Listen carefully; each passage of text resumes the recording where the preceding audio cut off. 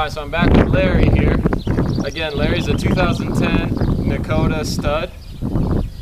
Um, I worked with him on the ground, lunging him earlier. Um, so now I took him over to the tack bar and I groomed him up a little better and uh, got him saddled. And so I'll ride him again. Um, today has been my first uh, with Larry, although he's been through multiple clinics. Um, so he's been ridden several times, but today is my first day working with him.